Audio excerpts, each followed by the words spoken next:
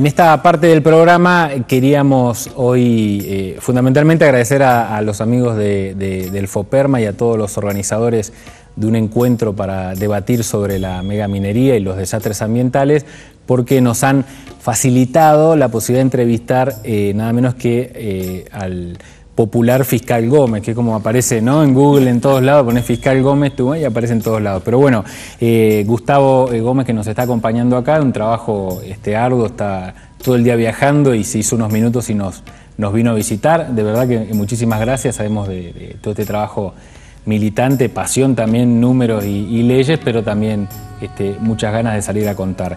Eh, relatanos un poco tu, el, principio de tu trabajo, más o menos cómo fue que, empezaste a involucrar todo esto de las denuncias y, bueno, obviamente desde la Fiscalía. Eh, en realidad los fiscales tenemos la obligación en toda América Latina y en todas partes del mundo de representar eh, tanto al interés público como a las víctimas de los delitos.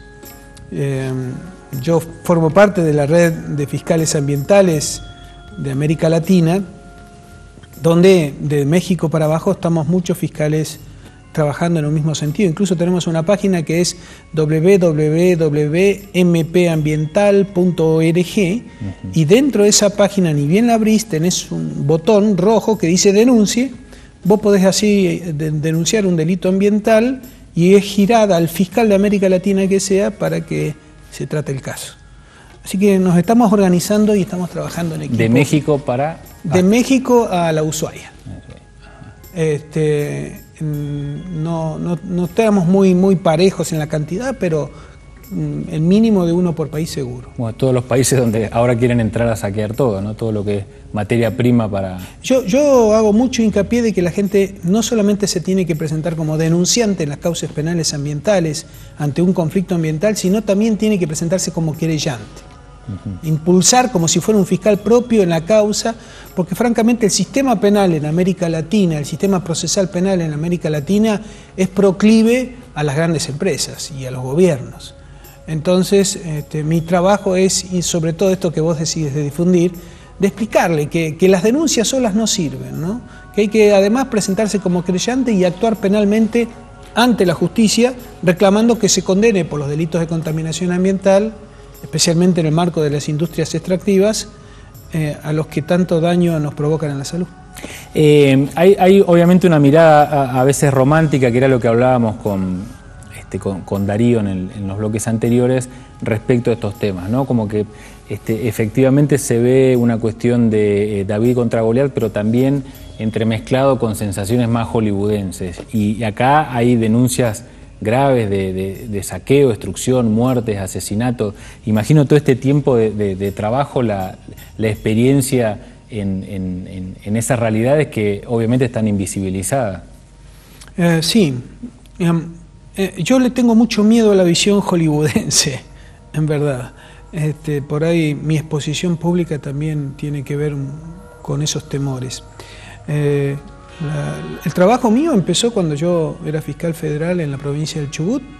Tuve una primera causa penal que fue la contaminación de unos 17.000 pingüinos por petróleo. Después me tocó el caso Gastre, del repositorio nuclear en Gastre. Después tuve el caso de Mina Ángela, también en la provincia, en la Patagónica, en la provincia del Chubut, que es un caso muy complicado, incluso llegamos a demostrar un caso muy concreto de corrupción. Eh, acá tenés que entender, hoy lo hablábamos también por radio, de que el funcionario público que debe controlar, por ejemplo, en el caso de la minería, eh, que no se contamine, es el mismo que el que tiene que promocionarla. Es el zorro puesto a cuidar a la gallina. Claro. ¿Entendés? Entonces, siempre detrás de estos delitos ambientales tenés un funcionario público corrupto. Y esa fue una lección que yo aprendí a los 29, 30 años cuando me nombraron. Es decir, que de ahí en más, te estoy hablando hace ya más de 20 años atrás, eh, cada causa penal ambiental siempre tiene una doble fase. Investigar al que contamine y gana plata con la contaminación ambiental, pero también investigar al funcionario público que se presta a esa circunstancia. ¿Y, te ha pasado que muchos de esos funcionarios terminan trabajando en algunas empresas después? Verlos de esas circunstancias, sí, por supuesto que sí. Eh, pero me parece que mm, eso más que una debilidad es una fortaleza. Es decir, ver que un funcionario público utiliza eh, su cargo para empezar a trabajar dentro de la administración de una empresa privada exhibe a las claras los niveles altos de corrupción que tenemos.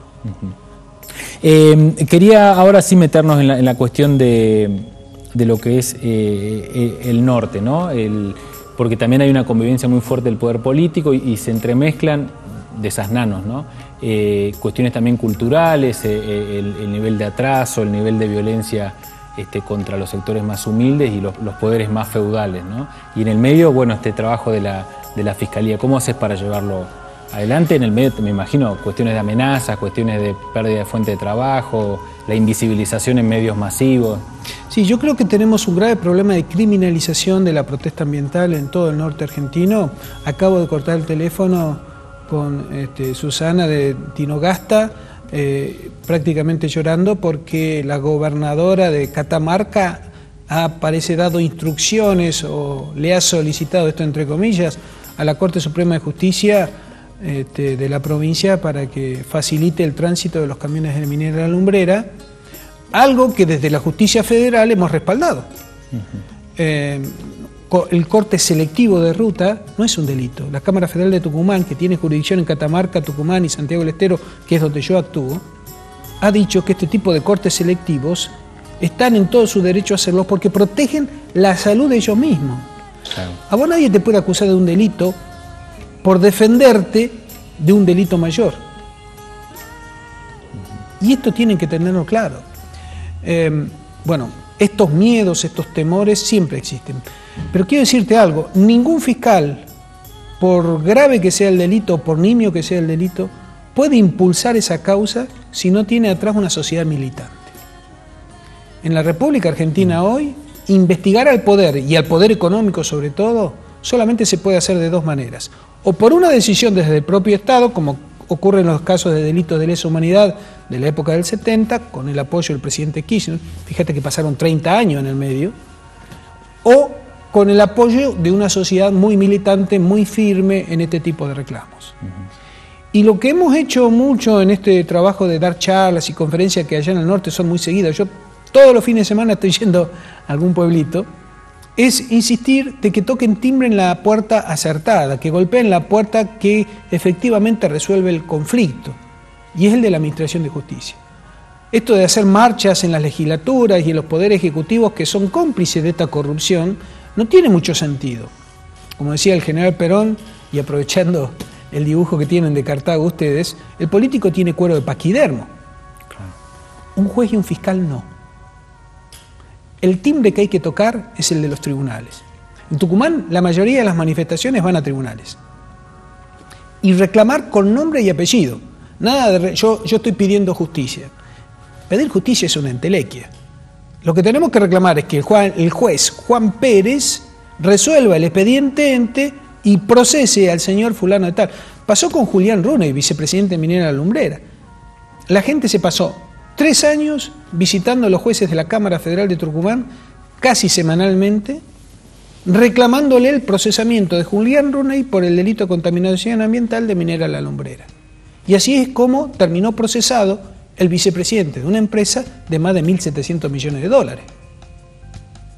Es decir, no hay posibilidad alguna de que estas acciones penales progresen sin una participación decidida de las asambleas sociales en Tucumán, de la UAP. Pero hacia el Poder Judicial. Hacia el Poder Judicial. Y de hecho los jueces y fiscales no tienen cuero paquidermo. En realidad son bastante delicados porque eh, desde, las, desde las grandes cumbres, desde la ciencia jurídica y del derecho, son profesores en las universidades, escriben libros. tienen otra, otra cosmovisión y... Viven en otra sociedad, más bien de corte aristocrático, etc. Eh, eh, nombraste a, la gobernadora de, Catamarca, ¿has tenido relación, sabes, de, su manejo o, estás, no, no, has tenido contacto? Justamente, personalmente con ella no. Pero justamente me están llamando hoy, el celular está que arde porque justamente los vecinos están muy preocupados. Están cortando, cortando, están interrumpiendo el tránsito de los caminos de minera lumbrera en la Ruta Nacional 60, que es un territorio federal. Como el fallo de la Cámara Federal le da la razón a los manifestantes, la gobernadora ya está involucrando a la justicia de la provincia, aun cuando se sabe que la justicia de la provincia no es competente. Claro, no puede actuar. Entonces manda a reprimir con policía de la provincia. Eh, y, esto, por supuesto, a la empresa minera lo ha afectado de manera tal que ya los conductores de los camiones de la empresa minera Lumbrera dijeron que no vienen más por el paso de San Francisco, que es el paso de Catamarca, sino que van a venir por Jujuy. ¿Y puede aplicarles la ley antiterrorista? De hecho, lo han hecho. En Santa María un fiscal le aplicó la ley antiterrorista. ¿Qué significa en este caso puntual, antes de ir al corte, así rápidamente? Significa eh, agravar las penas de, más de la mitad por cualquier delito que se cometa dentro del Código Penal. Y con eso ordenar la detención, incluso denegar la escarcelación. Que es, una, es, casi el modelo chileno, ¿no? Que se aplica... Más grave que el modelo chileno. Es más grave que el modelo chileno. Sí, porque las consecuencias... Es decir, a vos te pueden acusar por terrorista si con tu palabra metes miedo, para ponértela en términos muy concretos. ¿Eh? El artículo 213 bis. Y en ese sentido yo siempre culpo de terrorista a la Iglesia Católica. No mete miedo mandándonos al infierno. Si no nos convertimos, si no confesamos nuestro pecado, vamos al infierno. Es terrorista. Y no estoy exagerando, es la letra de la ley. Entonces tenemos una ley tremenda, muy represiva, que trata de eliminar toda la protesta social y definitivamente aplicar esa ley influye mucho miedo, mucho pánico en los ciudadanos. Claro, y fundamentalmente se visibiliza en los conflictos ambientales. Esencialmente en los conflictos ambientales. O socioambientales, como te contaba Darío con el tema de los, pueblos originarios. Eh, vamos a ir rápidamente a un corte y seguimos con más Cartago.